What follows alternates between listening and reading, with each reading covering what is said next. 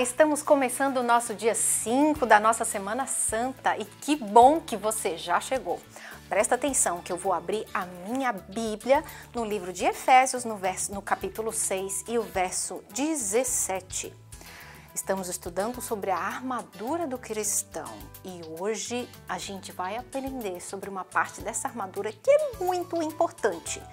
Usem o capacete da salvação. O que é capacete? Quando você vai andar de bicicleta ou de patins, você coloca uma coisa assim na sua cabeça. Você já viu um soldado que eles usam um capacete como se fosse um chapéu de proteção na cabeça? Porque a cabeça é muito importante. Na nossa cabeça está o comando de todos os movimentos do nosso corpo.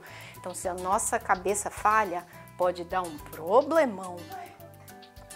Hoje quem vai ajudar a gente, eu vou chamar uma amiga minha aqui, a Bruna. Vem cá, Bruna. Eu vou dar para ela um papel e uma caneta e ela vai usar os seus olhos e a sua cabeça para escrever o nome dela bem bonito aqui pra gente. Deixa eu tirar a tampinha. Isso. Vamos Posso ver. escrever? Pode escrever.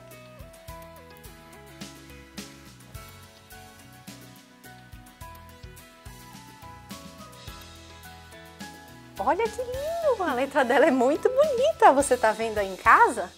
Hum, parabéns para Bruna. É legal quando a gente aprende a escrever. Mas agora eu vou dar um desafio para ela. Será que ela consegue fazer escrever o nome dela com os olhos fechados? Vamos fechar o olho aqui dela.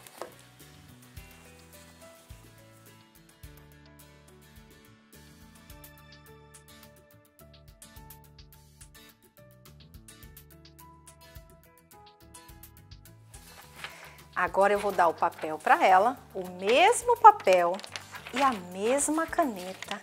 E vamos ver o que ela vai conseguir fazer. Tá aqui a caneta. Isso, pode escrever seu nome.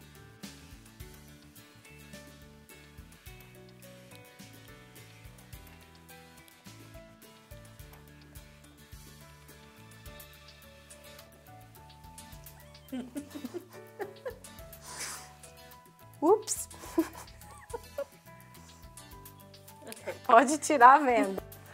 Olha só o que Nossa. você escreveu. Acho que não deu muito certo. Você sabia? Pode sentar lá. Obrigada, Bruna. Você sabia que as coisas que atrapalham a nossa mente podem ser conversas ruins, amizades ruins, pode ser filmes ou desenhos ruins, cheios de mentira que a gente assiste, livros ruins, todas essas informações ruins que o nosso inimigo coloca para atrapalhar nossa mente, pode atrapalhar as nossas decisões. Por isso, quando a gente coloca o nosso capacete da fé, a gente está protegido contra os ataques do inimigo.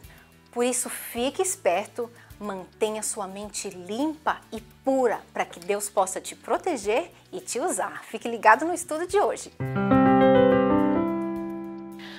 Hoje, no nosso momento especial de oração, o nosso momento da Casa do Comando, nós vamos orar para que Deus nos ajude a purificar a nossa mente, para que a gente não absorva as coisas ruins, mas só as coisas boas.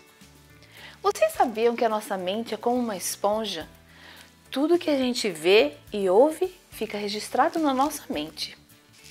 Precisamos ter muito cuidado com que as coisas que a gente assiste, as coisas que a gente lê, as coisas que a gente ouve. No nosso momento especial de oração, eu quero que vocês orem com os pais para que Deus purifique a nossa mente e não deixe que nada de mal entre na nossa mente e no nosso coração.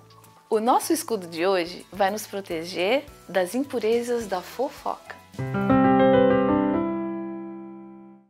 Mais um dia e você está preparado para ouvir a mensagem do grande general em Efésios? Vamos lá de novo.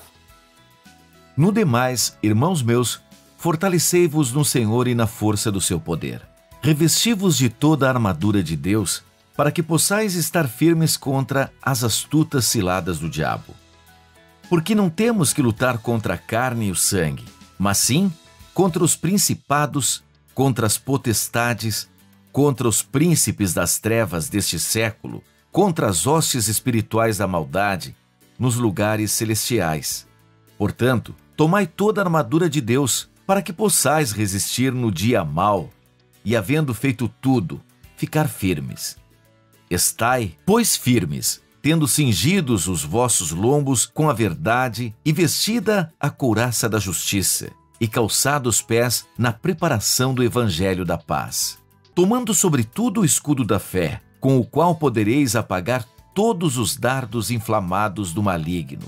Tomai também o capacete da salvação e a espada do Espírito, que é a palavra de Deus. Orando em todo o tempo, com toda oração e súplica no Espírito, e vigiando nisto com toda perseverança e súplica por todos os santos. Efésios 6, 10, 18. Nós temos duas passagens hoje para compararmos. A primeira está em Marcos 13, 32. Mas daquele dia e hora ninguém sabe, nem os anjos que estão no céu, nem o Filho, senão o Pai. Marcos 13, 32.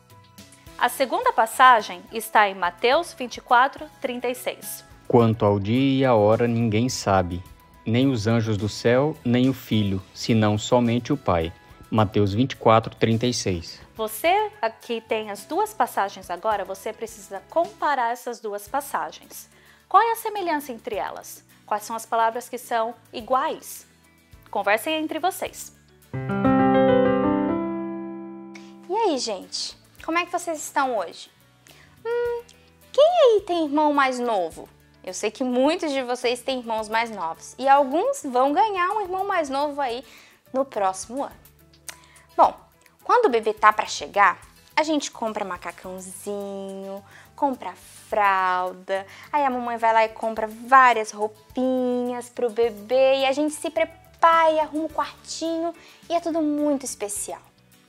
Bom, quando Jesus veio à Terra pela primeira vez, as pessoas sabiam que ele vinha, porque Deus já havia avisado há um tempo que o bebê Jesus nasceria em Belém. Porém, a maioria daquelas pessoas esqueceu que Jesus estava para vir e não deu importância aos sinais que Deus estava falando antes do nascimento de Jesus. O bebê Jesus nasceu e ele não tinha um berço preparado, um berço bonito para ele. E ele também não, não teve festas com muitas visitas. Ele nasceu e foi colocado em uma manjedoura. Um grupo de pastores recebeu a visita de um anjo avisando que Jesus tinha nascido e eles foram lá visitar Jesus.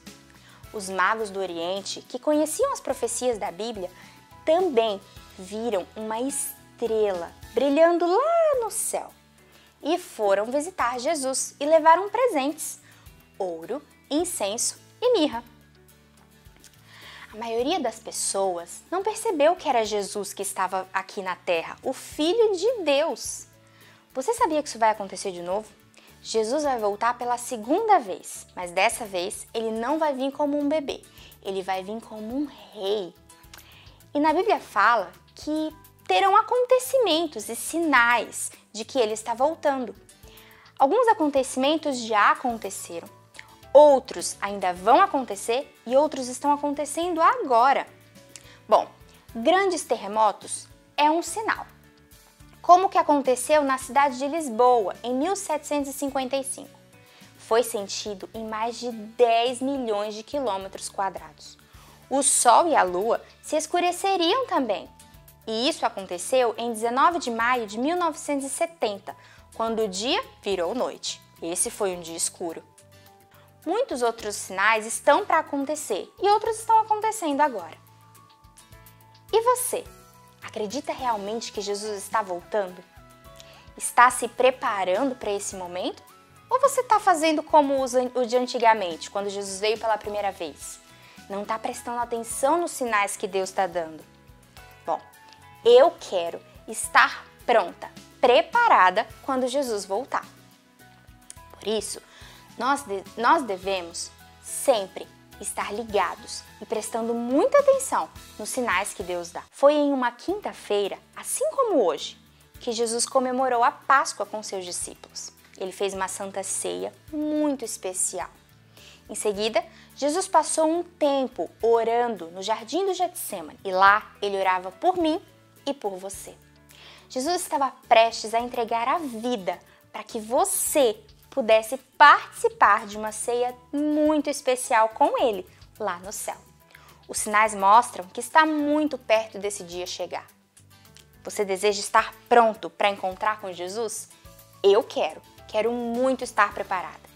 Você é um soldado fiel e precisa estar preparado com a sua armadura para quando Jesus voltar, você estar pronto. Agora, ajoelhe com a sua família e ore, pedindo para que Deus te ajude a estar preparado quando ele voltar.